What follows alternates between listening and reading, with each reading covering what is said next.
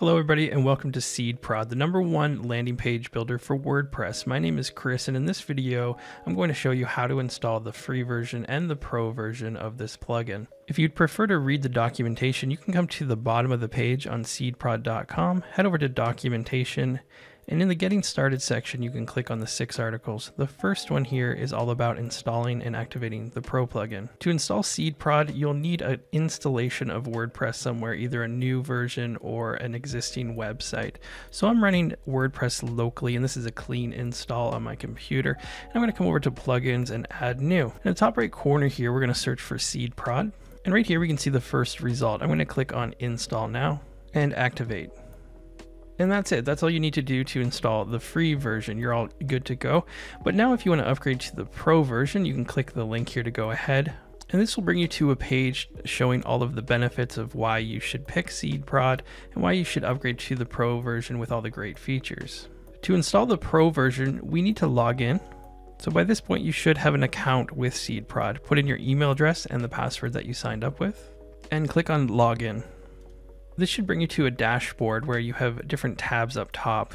You should see your licenses here, or you can click on downloads. And right here, you'll see a big orange button to download the plugin. This is the pro version right here. And in the bottom left, you'll see your license key. You also see your renewal date and how many sites are activated on your license. Based on your license, you can activate one or unlimited depending on what license you have. So let's go ahead and download the plugin. And this is going to download the zip file. A word of warning for those of you that are using Safari, sometimes if the setting is still active in your preferences for your browser, it will automatically unzip the zip file. We don't want that for any type of WordPress plugin. We want to keep it as a zip file as this is the exact same file that we're going to re-upload into WordPress. So I'm going to put on the screen right now some instructions on how to disable that. So go ahead and pause the video right now if you're running Safari or if you're having that problem. Everybody else, you should be fine to continue. So now to install the pro version, let's go to plugins and add new. And up top, we're going to go to upload plugin. And here is the choose file. I'm using Chrome, so I'm going to drag this up into choose file, and we can see it's selected it here. Otherwise, you can click and browse to see where the file is and select it that way. I'm going to click install now, and then you'll have this page where you can activate the plugin. Once I click activate, it's going to automatically disable the free version, the free plugin.